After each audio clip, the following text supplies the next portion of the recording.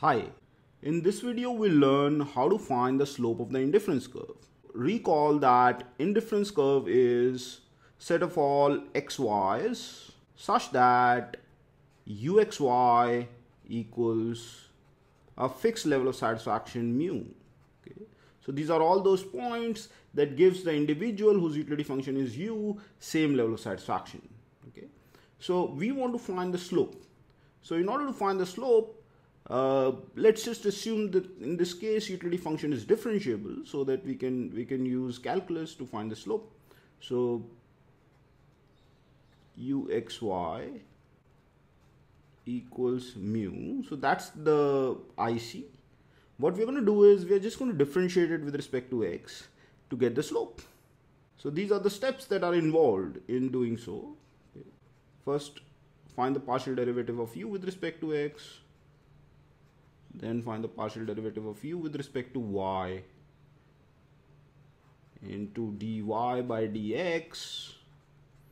And that should be equal to 0 because when we're going to differentiate mu we're going to get 0 so this is the expression that the slope must satisfy. Here the slope of the indifference curve is this term dy by dx. Del u by del x is also known as marginal utility of commodity X. And del u by del y is known as marginal utility of commodity Y. Now solving uh, this, this particular equation, we can just write dy by dx equals minus del u by del x upon del u by del y. This is minus mux over muy. So that's the slope of the indifference curve. It's negative of the ratio of mux by muy.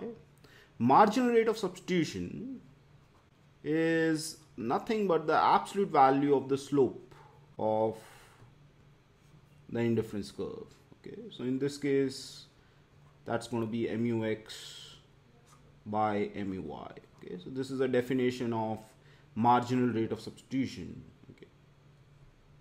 Now let us see that in few examples. Okay.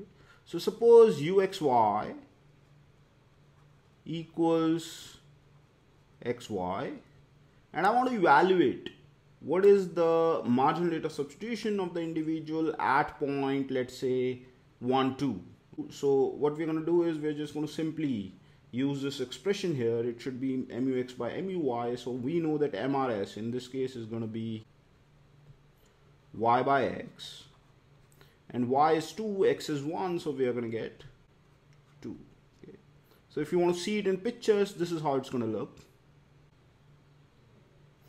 Okay so this is the graph of the indifference curve that passes through the point 1 2 now we are just going to uh, figure out what is the slope of the indifference curve here.